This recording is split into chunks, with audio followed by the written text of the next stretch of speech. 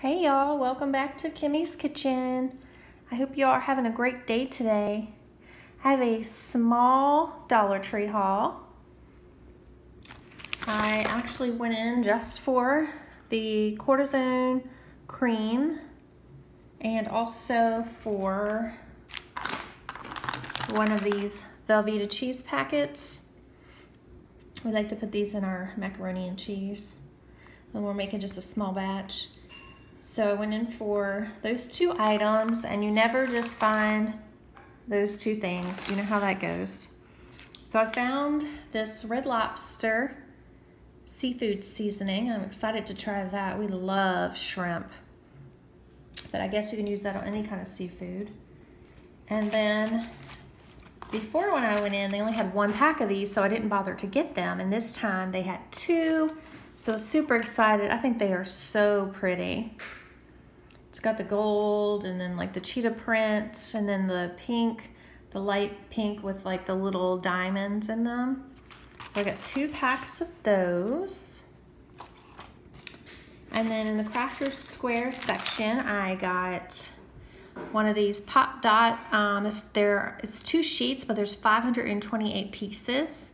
So I thought this would be great for crafting, especially um, if I want to put something on a pocket letter and I don't want to use um, the glue gun, this will be great. And then I found these in the Crafter Square section. There's a six piece art brushes. Definitely needed, needed more of those for my painting. And these are a little bit uh, larger brushes too, so I need that. And then I found, this is a 52 piece set um, by Jot. And these are the poster letters. And I thought um, maybe, just maybe, they would go good on um, the new uh, board that I had bought. That the letters didn't come with enough letters. So I thought maybe I could use this. So we'll see how these work. Hopefully they're not too large. I'm only going to put Kimmie's Kitchen on there, so I should be able to fit Kimmie's across the top and kitchen on the bottom. And it does come with two of each letters.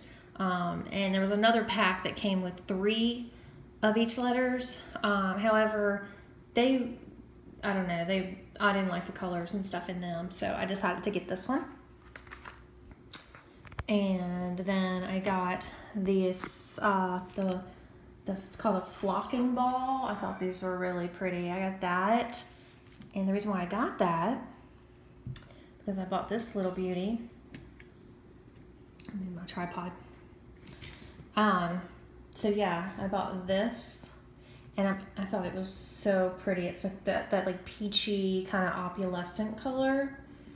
But I am actually going to paint it. I'm going to paint it white and then I'm going to put this in it. And I just thought that that just looks so nice. So I'm going to do that and at the end of this video I will show you what it looks like. And then I picked up uh, one more each of those um, so that I can mail out or send out, actually send back um, to my family, um, to my parents. So yeah, that that is it. Um, that is my Dollar Tree haul. I hope that you all enjoy. Hope that you all have a um, blessed evening and a safe evening. And just remember, guys, be kind. And until next time, bye, y'all. Okay, guys, so this is how the vase turned out that I painted. And I think I might even um, maybe sand it a little to give it like a little more distressed look. Let me, let me know what you guys think down below. And um, Thank you for watching and subscribing. I hope you all have a blessed day and a safe day. And be kind. And until next time, bye y'all.